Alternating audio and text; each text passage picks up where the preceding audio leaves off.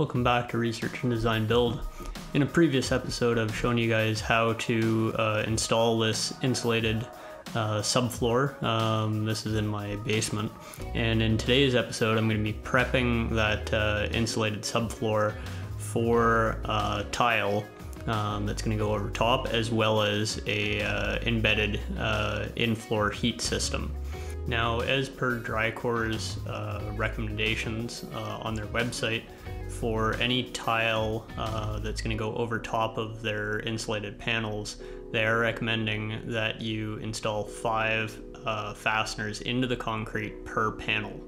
Now, this is quite a bit. Uh, there's a lot of fasteners that went into this. So for the fasteners, um, I'm using Tapcon screw fasteners. There are two and three quarters an inch long, and they're one or a quarter inch in diameter.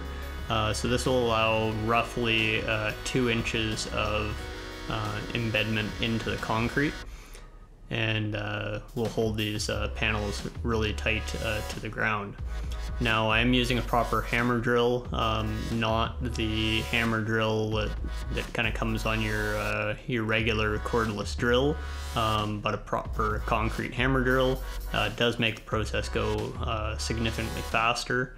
I'm also using a drill with a chamfer bit, and that's going to allow me to countersink all of these fasteners um, into the subfloor panels so that I've got a smooth surface uh, on top.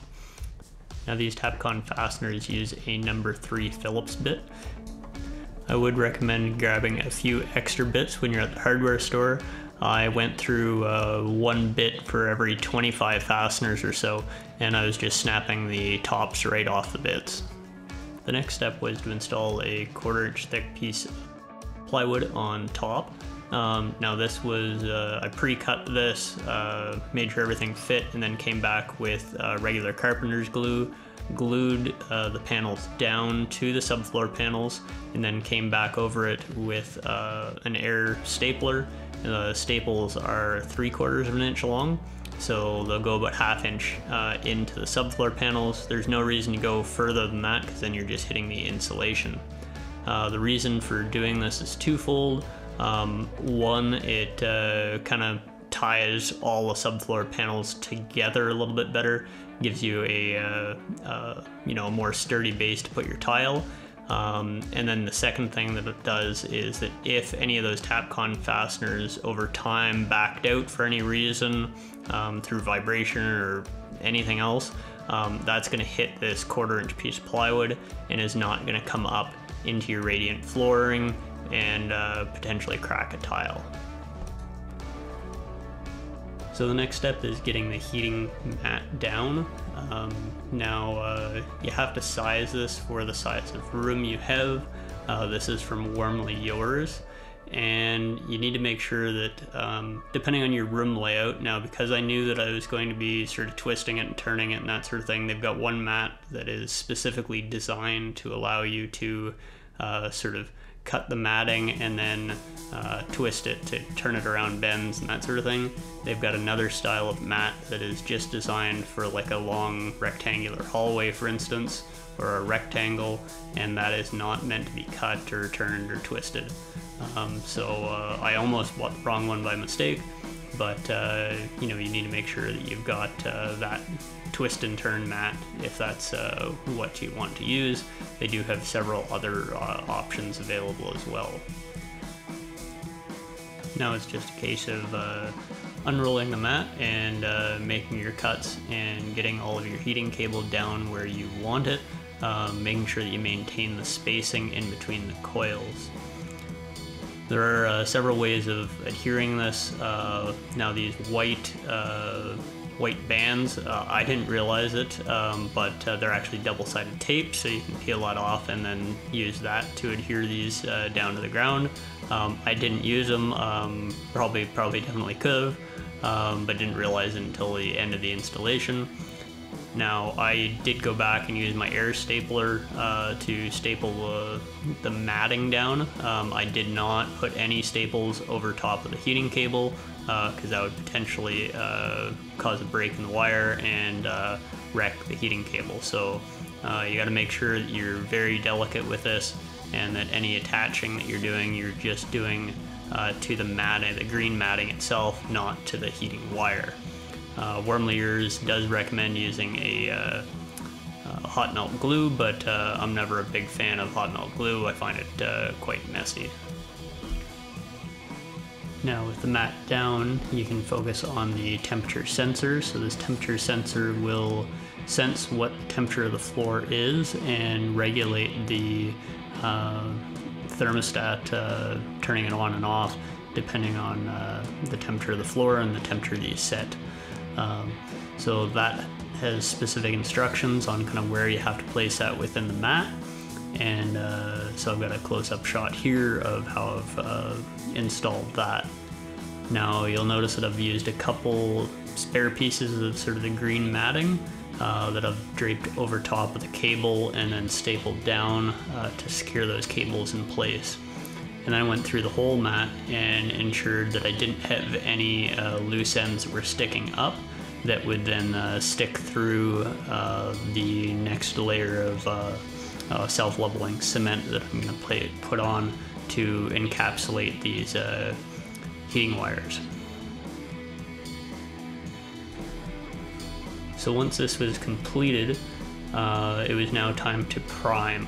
Um, could have done this before, but I didn't know how long it was going to take me to get the mat down, and the primer uh, has to go down um, within 24 hours of you putting on the uh, the thin set to sort of embed the uh, the heating cables. So because I wasn't sure how long it was going to take me, I figured that I would uh, you know, do that kind of after I had the mat down. Now what this priming does do is that it uh, gives you a higher guarantee, I guess, that the thin layer that you're going to be putting on the self-leveling uh, does adhere properly uh, to the plywood and to the, the heating elements and you don't have anything peeling up. So in some areas there is potential for you uh, to have a pretty thin layer and you wouldn't want it flaking off. So now it's time to get uh, everything ready for pouring the self-leveling cement which will uh, embed the heating wires and allow you to then uh, tile over top.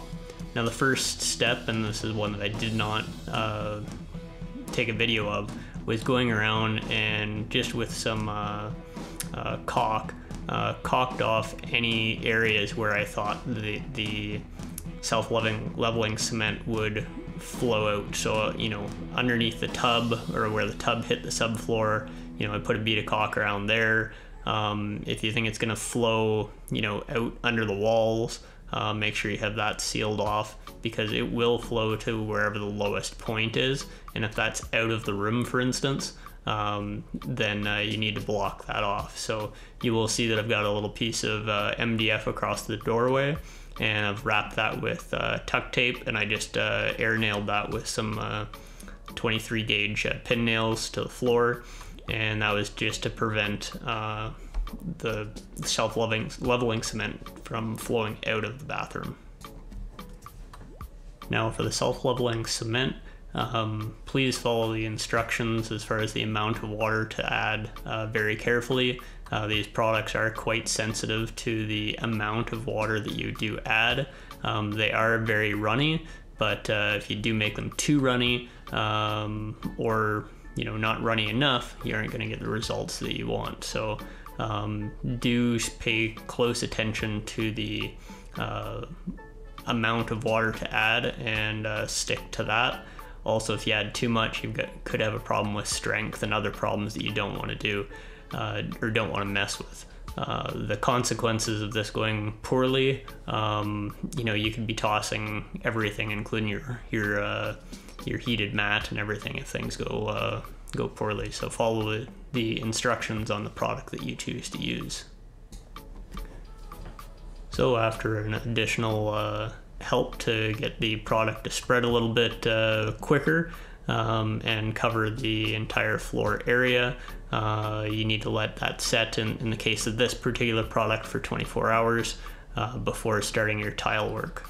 If you've uh, found this video useful or helpful, um, please leave a comment below. If you have any questions as well, um, I do try to get back to everybody that posts a question or, or a concern. So uh, please post it in the comment section below. And also consider subscribing. Uh, in the next video, we'll uh, we'll tackle actually putting the tile down and uh, getting that in place, as well as uh, grouting the tile.